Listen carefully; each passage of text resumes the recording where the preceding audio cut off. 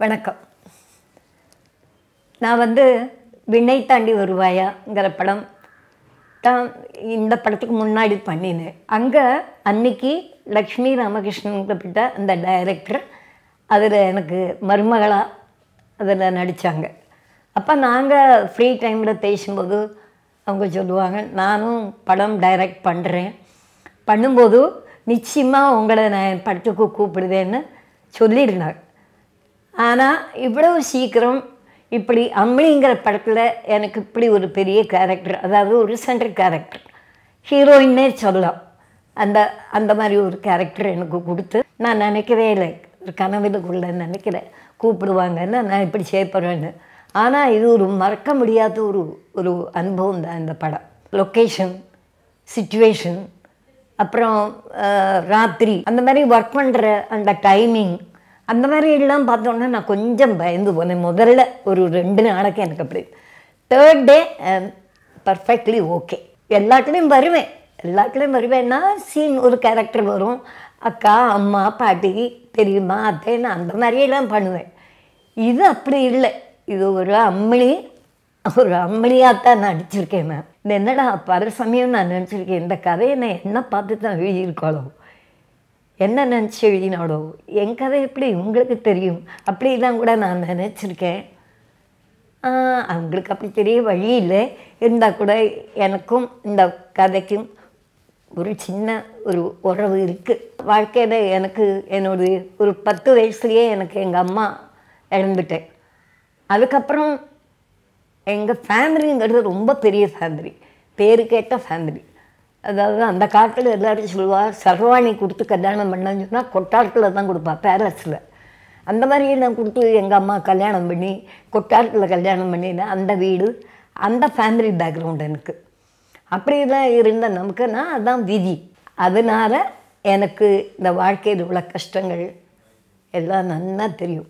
எந்த ஏஜில் என்ன வேணும் என்ன ஆசை எது கிடைக்கணுமோ அது ஒன்றும் எனக்கு கிடைச்சதில்லை.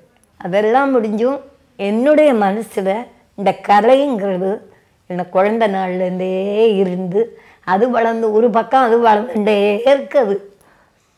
அதனால என்ன தெரியுமோ? யாரை பார்த்தாலும் எந்த படத்தை பார்த்தாலும் எந்த அழகான பொருளை பார்த்தாலும் யார் பாடினாலும் சிரித்தாலும் அதை நான் நல்லா என்ஜாய் பண்ணுவேன். எனக்கு வரைக்க ரொம்ப பிடிக்கும். படிக்க பிடிக்கும். ஆனால் ஒன்றுமே என் வாழ்க்கையில் கிடைக்கல. ஆலயமணியின் ஓசை நான் கேட்டேன்.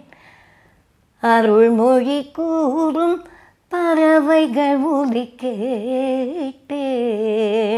பாட பிடிக்கும். ஆனால் ஆறு அதுக்கு என்கரேஜ் பண்ணல அப்போ ஃபிலிம் சாங்ஸ் எல்லாம் ரொம்ப பிடிக்கும் பாட. அந்த காலத்துல எல்லாம் ரொம்ப ரே- ரேடியோவே கிடையாது. ரேடியோ இருக்கிற வீட்டிலேருந்து செவரில் காதை வச்சு இப்படி கேட்பேன் தினம் பாடும் மொழி கேட்டேன் இனிமையான சங்கீதம் எங்கிருந்து யார் பாடினாலும் அதை நான் ரொம்ப கேட்டு நான் ரசிப்பேன். யாரும் இல்லைன்னா நான் பாடவும் செய்வேன். ஆனால் சினிமாவில் நடிப்பேன்னு நான் நினைக்கவே இல்லை. ஒரு காலம் நினைக்கிறேன். அதுக்கும் எனக்கு ஒரு வாய்ப்பு கடவுள் கொடுத்தார். பிளாக் அண்ட் ஒயிட் நான் பார்க்குற சமயத்துலலாம்.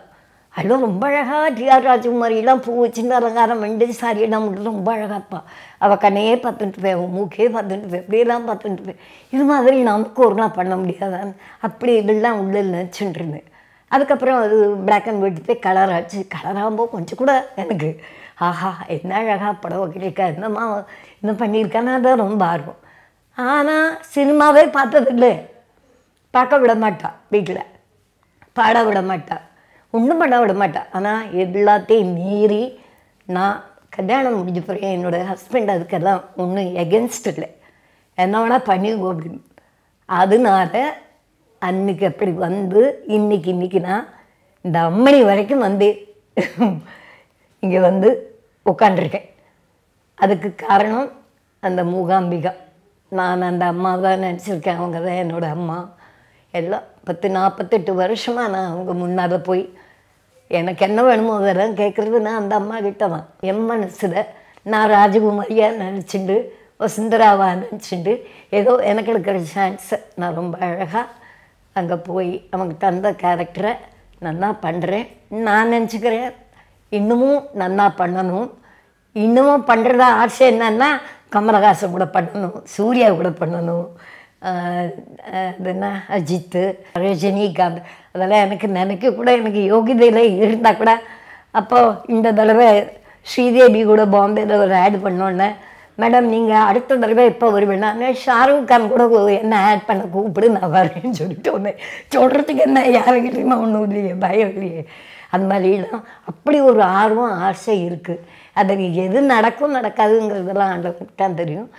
அதெல்லாம் நான் வயசையே பார்க்கறது கிடையாது. இப்போவும் நான் ரொம்ப ஆக்டிவாக எனக்கு தந்த கேரக்டரை நான் ரொம்ப அழகாக பண்ணுறேன்னு நான் நினச்சின்னு பண்ணிட்டு இருக்கேன். இத்தனை நேரம் அம்மணி படத்தில் நாயகியான என்னை பார்த்து என் பேட்டி கேட்ட உங்களுக்கு சேனலுக்கும் எல்லாருக்கும் என்னுடைய மனசு நிறைஞ்ச வணக்கம்.